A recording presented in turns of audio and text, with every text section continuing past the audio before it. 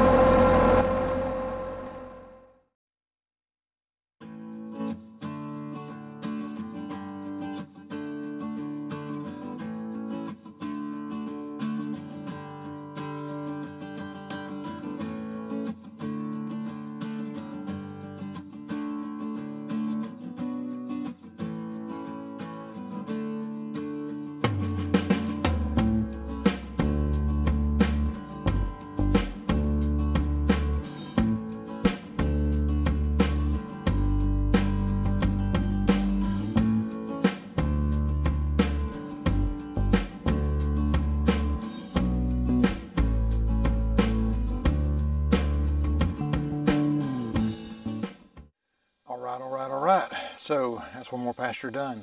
Is it perfect? Not by a long shot, but um, it's down low enough to where the tender, juicy shoots can come up. Uh, the ones the cows really love, and we'll move our cows over here in the next, uh, I don't know, week, maybe two. Want to give this uh, a chance to get a good, good jump start there, but uh, I already see a whole bunch of clover um, underneath there that was just hiding before, so that's good. If you're not already subscribed, please subscribe and please hit that like button. It really does help me reach more people. And as always, thanks for joining me on the farm.